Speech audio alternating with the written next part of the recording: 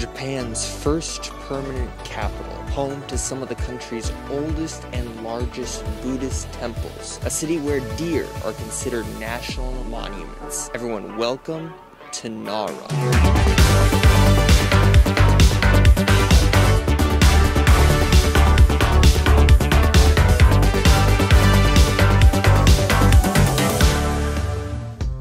First stop in Nara is the Todaiji Temple, and each piece of architecture here, from the entrance gate all the way to the statues inside, are all ginormous. In fact, the Great Buddha Hall right behind me was, for many years, the largest wooden building in the world, even though it's only constructed at two thirds of its original size. And housed inside here is one of Japan's largest bronze Buddha statues. When you go inside, you realize just how old the building is. It was originally built in the 740s and then rebuilt in the 12th century, but it looks like no repairman has touched this thing since then. It feels like this temple inside of a massive ancient barn.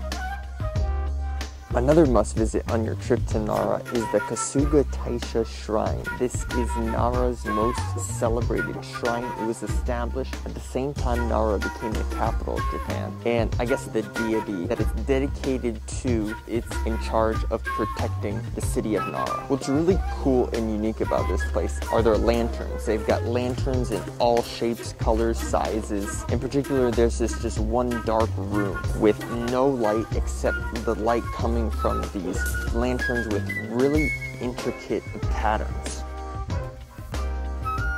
Now it's time to decide today's challenge. For each stop of my Japan tour, I have this daily decision spin the wheel app. And in this app, I've input all kinds of wacky, crazy, insane challenges that would be perfect for a trip around Japan. So let's see what today has in store for us. Organize the biggest dance party in Japan.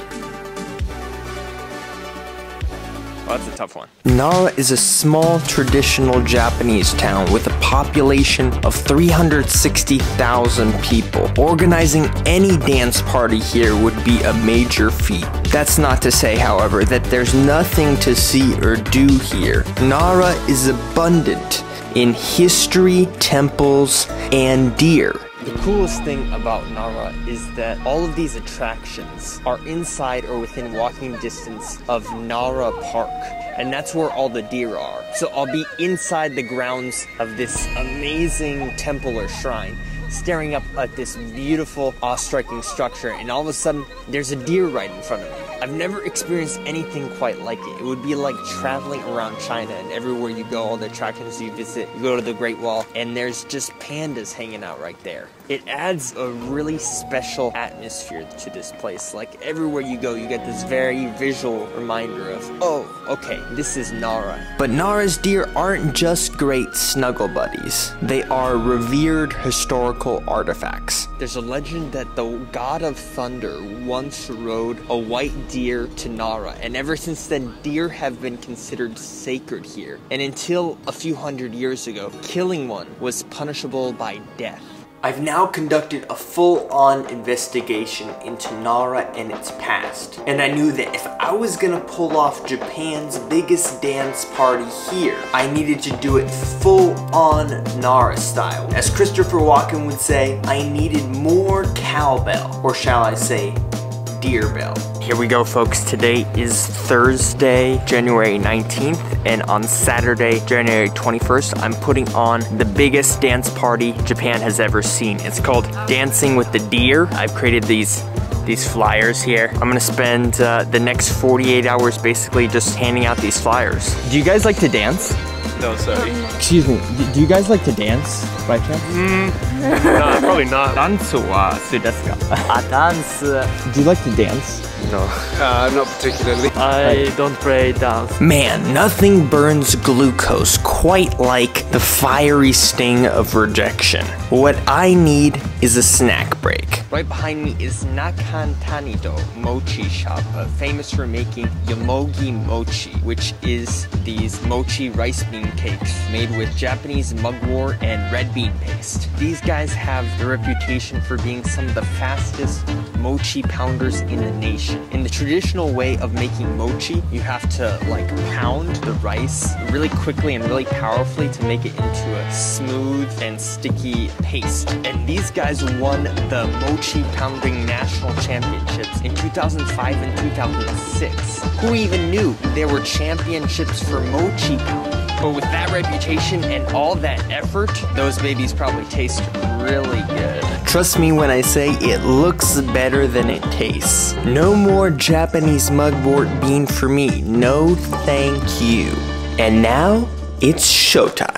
Good morning, everyone. The day of the dance party has arrived. I am here and I'm ready to boogie down. Total attendance for my Dancing with the Deer party was zero, zilch, nada. Well, I guess two if you count me and my polar bear chicken. But then I realized it wasn't just us. I had a whole park of sacred deer as my potential party guests. But one thing I learned is deer don't want to party unless there's deer food involved. I bought me some deer crackers. Hopefully this will do the trick.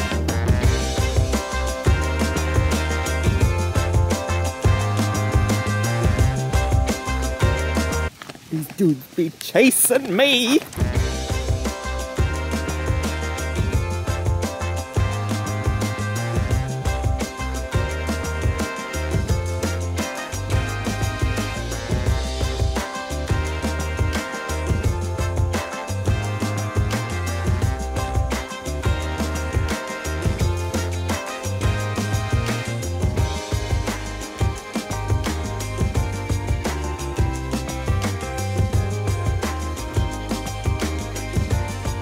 It may have not been the biggest dance party in Japan, but it was a dance party all the same. I'll see you all for the next episode. On the last episode of my Japan tour. This is the true on the ground tour, the food and on foot tour of Osaka.